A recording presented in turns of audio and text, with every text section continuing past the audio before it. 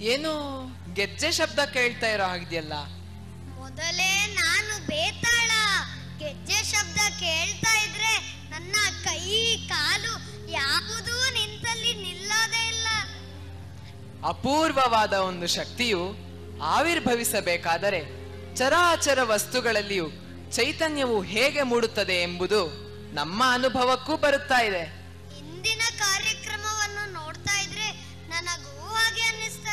ಅಲ್ವೇ ಮತ್ತೆ? ಬಾ.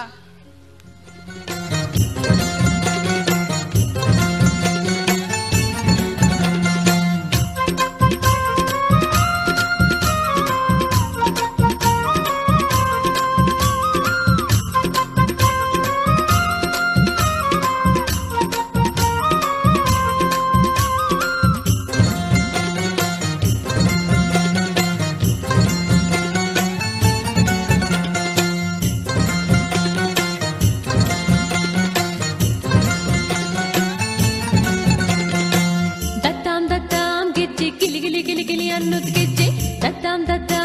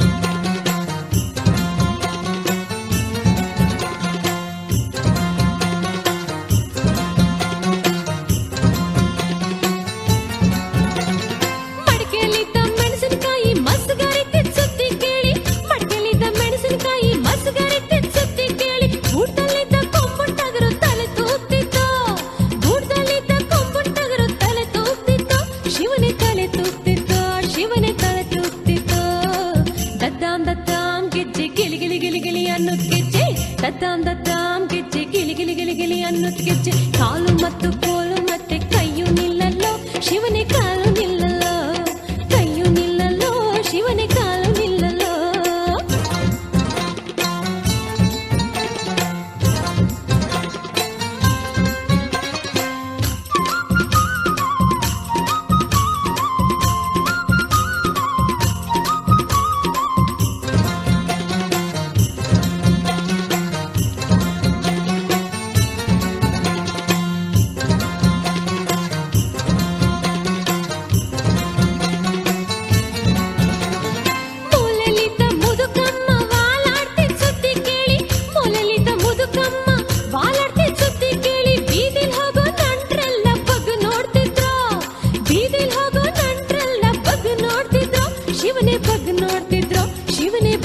ಕೊಟ್ಟಿದ್ರು